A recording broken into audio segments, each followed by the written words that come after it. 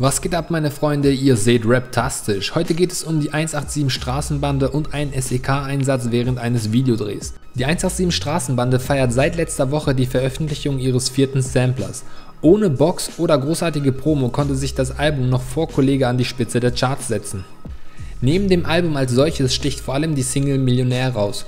Ohne ein Video dazu schafft die Crew es mit dem Track auf Platz 6 der Singlecharts, direkt hinter Bon Voyage von Miami Yassin.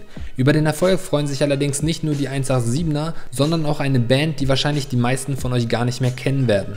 Der Grund hierfür, die Melodie des Songs ist an den damaligen Welthit Zombie von den Cranberries angelehnt.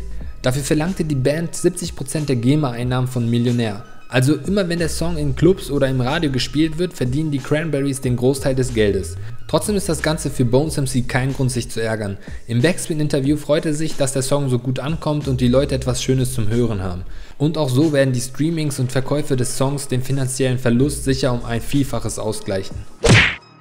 Ein Sondereinsatzkommando hat laut Berichten mehrerer Portale einen Videodreh gestürmt. Betroffen ist ein Newcomer-Rapper aus Nürnberg namens Jan Behra.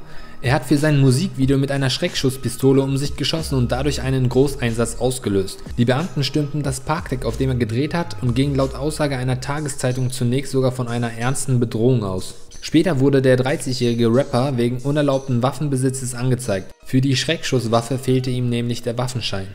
Trotzdem hat ihm die ganze Geschichte sicher nicht geschadet. Seit dem Vorfall berichten mehrere Online-Portale wie der Focus oder die Bild-Zeitung über den Vorfall. Auf jeden Fall keine schlechte Publicity.